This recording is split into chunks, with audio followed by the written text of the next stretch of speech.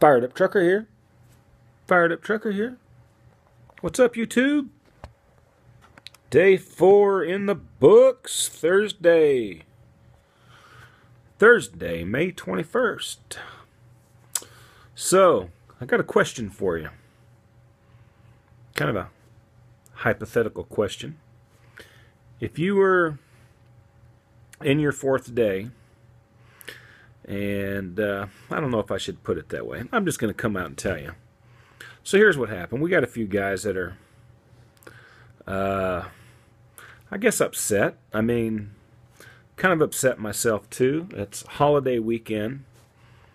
And, uh, you know, we're here at CDL school and we expect to, uh, when I'm told that I'm going to be going to, uh, CDL school for two weeks. I'm thinking Monday through Friday, Monday through Friday, heck, maybe 8 to 5, 7 to 4, whatever, okay?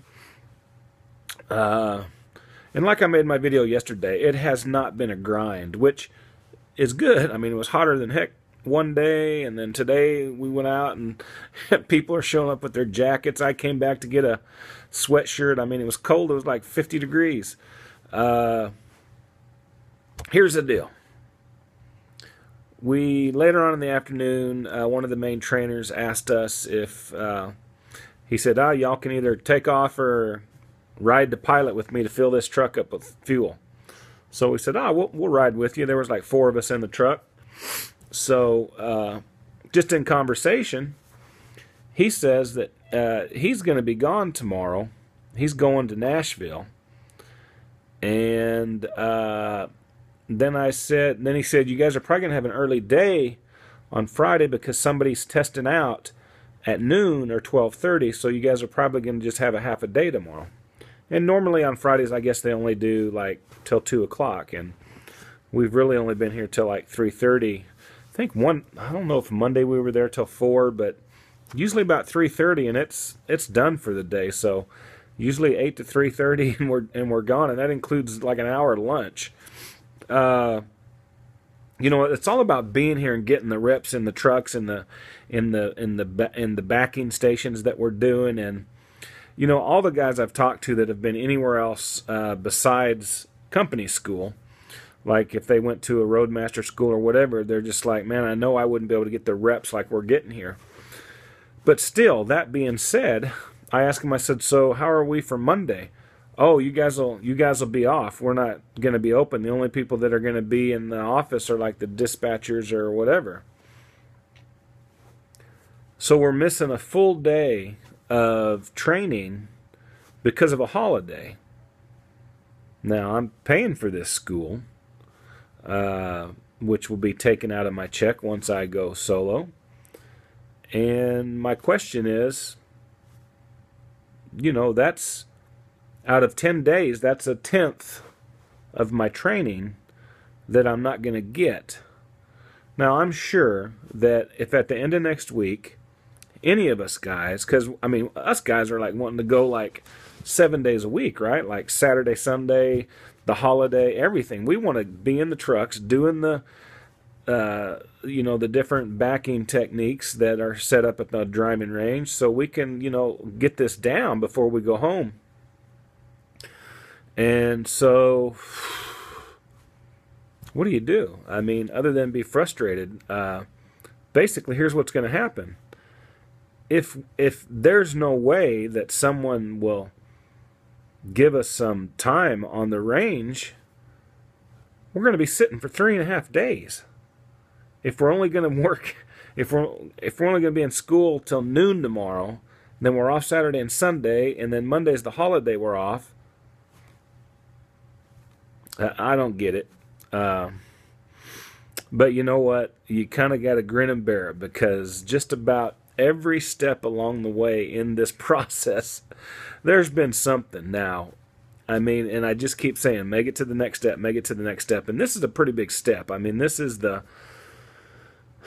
this is the training that's going to help me get my CDL to go back to Dallas and take my my road test and get my CDL and to be able to go out on the road with a trainer over the road for four to six weeks, probably six weeks. Uh, you know, before I get test out and get my own truck. So anyway, it just kind of frustrating. We would, you know, us guys. There's there's three or four of us that would just that were pretty tight that we've been together every single day, and we're like, man, we wish we could just, you know, we'd we'd go out there by ourselves. What are we gonna do? We just want to go out there and drive all weekend, and anyway, it is what it is. I don't know what's gonna happen, but most likely we're gonna sit for three. I've even text my wife and told her I might rent a car tomorrow and drive home. It's only six hours and go home. But then I'm like, you know, do I want to spend an extra three hundred dollars just to do that? You know. Anyway, anyway, it's a truck driver deal, right?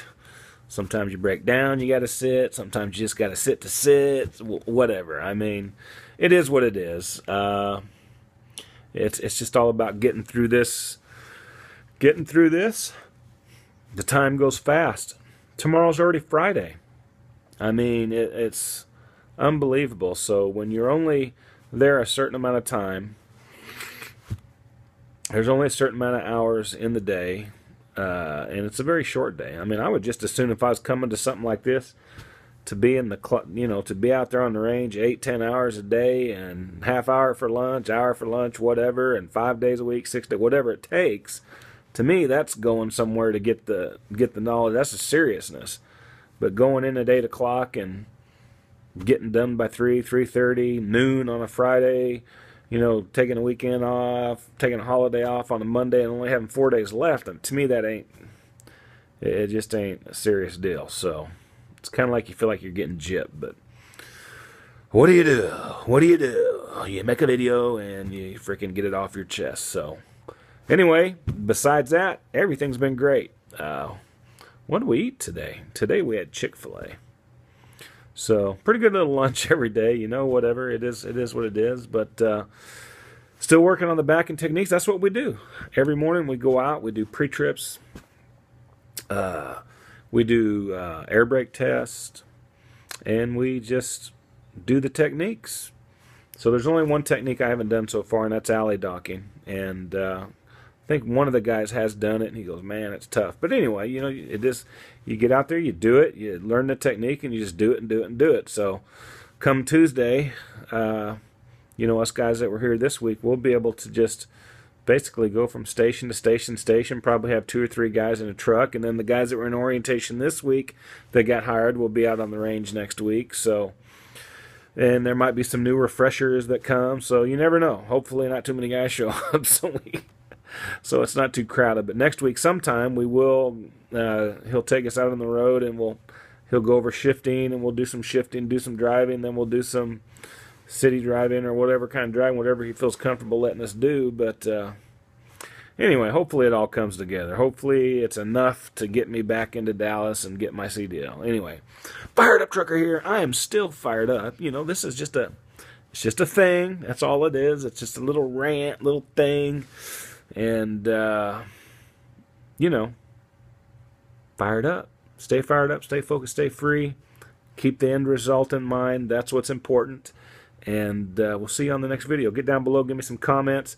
Like the like, share. Uh, come over and subscribe to the channel. Friend me on Facebook, Jim W. Hammons, and join Fired Up Truckers group on Facebook. See you on the next video.